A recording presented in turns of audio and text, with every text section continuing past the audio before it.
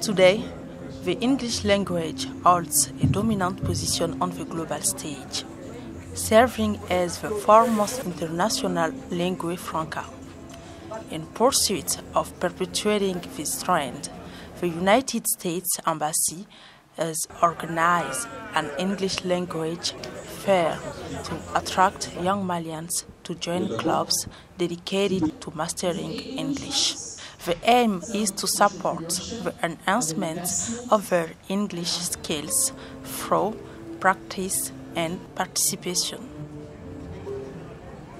We did some uh, panel discussions about the importance of English and also English clubs presented a model session. Okay, a model session, they did debates, they do public speaking and creative writing. So this is a way for them to showcase you know, all the activity they do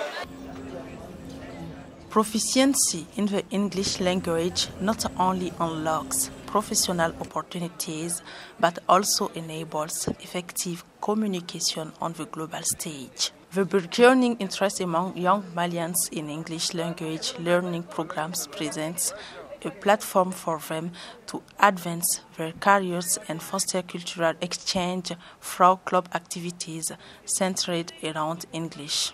As highlighted by United States Ambassador Rachna Korhonen. I can see especially young Malians already speak some English and they want to improve their English. They want to be able to uh, start businesses. They want to be investing in their country. They want to invest in the next generation. So it's very important.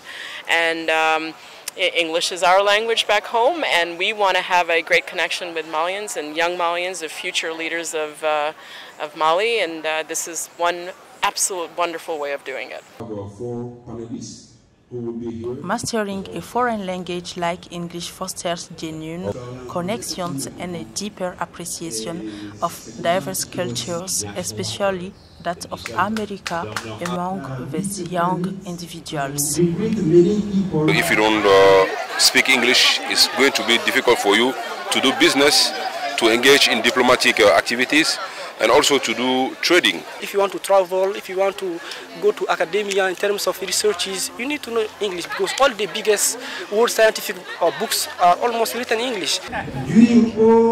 While strides have been made, there remain challenges to be addressed to promote widespread English language proficiency in Mali. It is imperative to tailor English language education to cater to learners from the early stages of schooling, thereby offering them a broader spectrum of learning opportunities. Uh, English could be a language offered at the school level, and then, um, if possible, maybe also um, maybe do two tracks in universities where you have university only in English and only in French, and kids can choose which way they go. I think that would be really helpful. English Language Fair hosted a plethora of exchanges, networking sessions, and integration activities among various clubs in attendance. English as the third most widely spoken native language globally serves as a catalyst for economic development, cultural exchange, and fostering mutual understanding among nations. Please come back, have your seat.